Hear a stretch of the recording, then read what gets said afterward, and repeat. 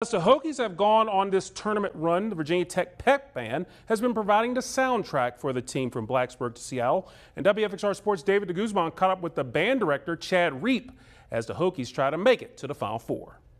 All right, we're here with a man who should be very familiar with Hokie Nation, band director Chad Reep. And Chad, this journey has actually been pretty special for you because you were the band director at James Madison when Kenny Brooks was there. So how's this kind of full circle for you?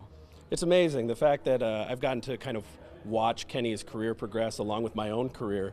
Uh, so yeah, you said it. We were at JMU together, did a lot of trips together, a lot of times at the NCAA tournament, CAA tournament.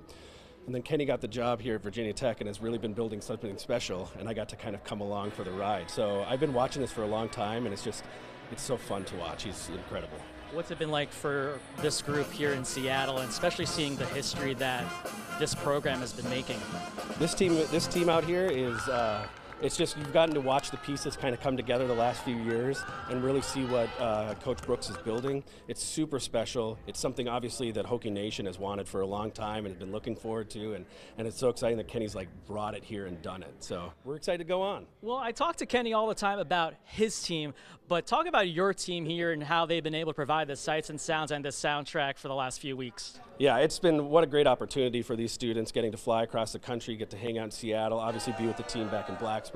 Uh, maybe we'll continue on. We're hoping to continue on to Dallas, but uh, these students have sacrificed a lot to be here. They're missing their classes. They're, they're doing, you know, they're going to the library and studying during the days, and in the meantime, they can root for the team. I'm sure they're super pumped to be here, be out west. I think there's only one way to end this interview. I can't do it because I'm the journalist. Do you want to lead in a Let's Go Hokies chant? I can try. All right. Let's go. go! Hokies! Let's go! Hokies! Let's go! Hokies! Back to you.